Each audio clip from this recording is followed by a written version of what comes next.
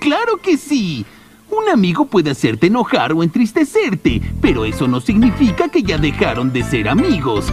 Los amigos son algo muy especial. Los amigos son especiales, hacen al mundo girar.